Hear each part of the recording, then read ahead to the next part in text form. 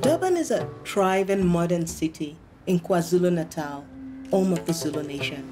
Its people live a fast-paced 21st century life, yet many of them carry their traditions deep within them. I find that the traditional Zulu attire is so regal looking. Just the colors and the vibrancy, just beautiful. I traveled out of Durban to discover the Zulu way of life. I didn't realize how close the city is to the beautiful rolling hills of the Heartland. I was excited to find people still living according to a proud, passionate heritage, not just respecting the old ways, but celebrating tradition joyously. I found people with an amazing zest for life, flashes of color everywhere. I was swept up in the drama, the noise, the excitement of it all. I mean, every photographer lives for those moments. It's something I'll never forget.